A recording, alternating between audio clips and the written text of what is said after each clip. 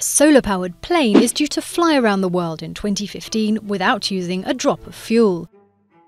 Solar Impulse 2, the successor to its prototype counterpart, will travel stages of up to five days and nights non stop on its journey.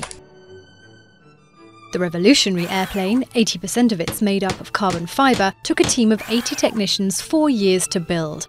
With a 72 metre wingspan, it measures 22 metres long and weighs just 2.3 tonnes.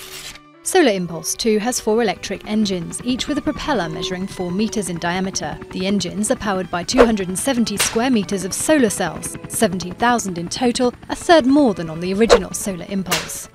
These cells generate an average power of 15 horsepower and can keep the plane running at some 70 kilometers per hour over 24 hours at a maximum cruising altitude of 8,500 meters depending on the flight. The accumulators are 633 kilograms in total, making up a quarter of the plane's weight.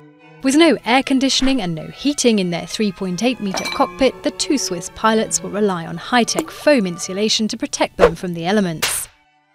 As for relaxing on their 35,000 kilometre trip, Bertrand Piccard says self hypnosis is the answer. André Borschberg will practice yoga.